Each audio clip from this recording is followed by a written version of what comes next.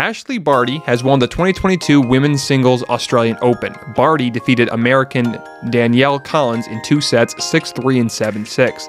She won her third Grand Slam and her first Singles Australian Open. Barty is currently ranked number one and was the first Australian to win the Australian Open since 1978. After winning the tournament, this is what the 25 year old had to say. I've said numerous times I'm so lucky tonight to have numerous people here that love and support me. I'm fortunate and lucky girl to have so much love in my corner. We start we started together right from the start. We did it all together. Nobody has changed from our team. I loved you to death. I loved you to death. As an Aussie, the most important part of this tournament is being able to share it with so many people and the crowd. You have been nothing short of except exceptional. The crowd is one of the most fun I've ever played in front of you, and you guys brought me so much joy and helped me play my best tennis. So thanks for all the love and support over the last couple of weeks. This is a dream come true for me, and I am so proud to be an Aussie. The 25 year old Australian tennis player is now 3 0 in Grand Slam finals.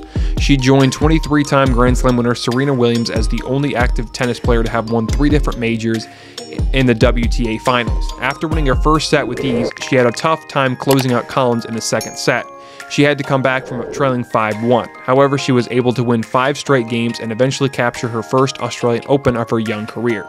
She now has a total of 305 wins in her pro career and has been ranked number one in the WTA since June 24th of 2019.